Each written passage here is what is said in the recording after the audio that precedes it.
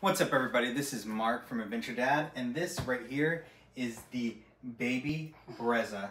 It is a lifesaver for those of you who are uh, formula feeding, especially at night.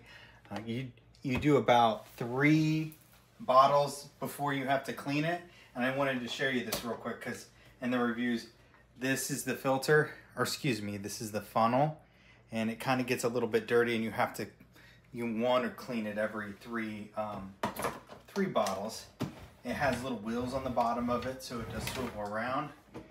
You can pull the water out and fill it up. It doesn't take much time at all. I don't believe there is a filter on it. It's easy to fill up with a baby formula.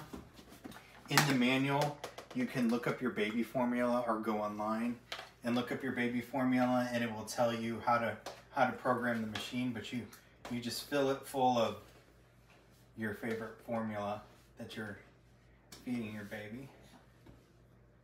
Let's get some of that in there. It doesn't take much. You have the water and then the make sure that the funnel is in there and then it's telling me to put the top back on which we will do. And then it, it automatically will heat up the water. It, it does take a little bit after you fill the water up for the water to heat so, up. So you, you, it's really easy. You can control the temperature that you want. You can only do water.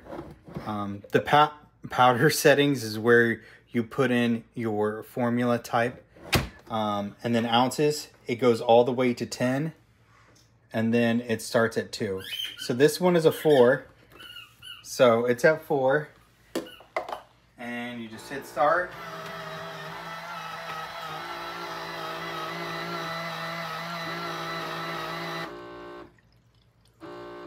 Fill up your bottle.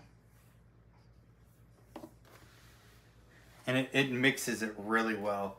I've never had clumps or anything like that. We've been using this since my son was a newborn and he's 10 months now. So we have two more months left of feeding him formula. But again, this is the Baby Brezza. Thanks for watching, everybody.